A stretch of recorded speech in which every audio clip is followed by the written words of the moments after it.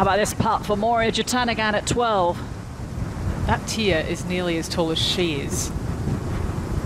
Hold on to your hat, Moriya. Hit it. Oh, that was huge. Draining an enormous putt down the length of the 12th green. How about that putt that Moriya hold at 12 today? That was absolutely extraordinary. Here she is at 16. That was huge. I was saying earlier, I mean, oh, Oh!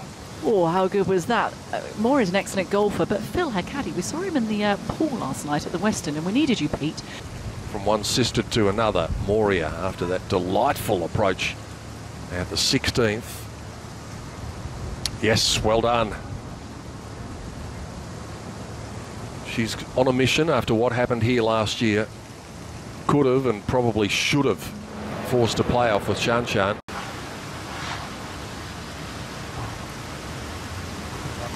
That's a lovely putt from Moriya. Her putting has been very good today.